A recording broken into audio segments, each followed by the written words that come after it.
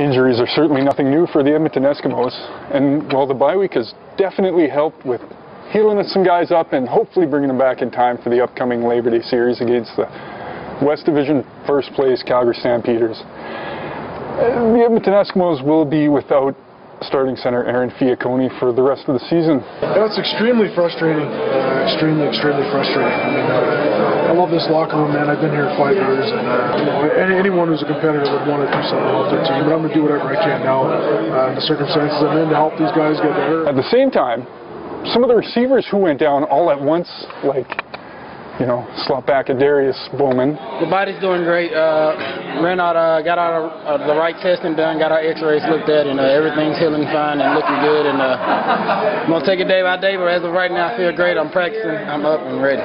Head coach Kavis Reed isn't putting any added pressure on his players, even though they have a chance to get first place back with a couple of wins over Calgary in a row here. I'm going to say less now and just do a little bit more. Is is it's time for them to start to assert their their maturity versus me trying to always lead them. The Edmonton Eskimos travel down south to take on the Calgary Stampeders at McMahon Stadium on Labor Day for the annual classic, of course, before coming back up to Commonwealth four days later for the rematch.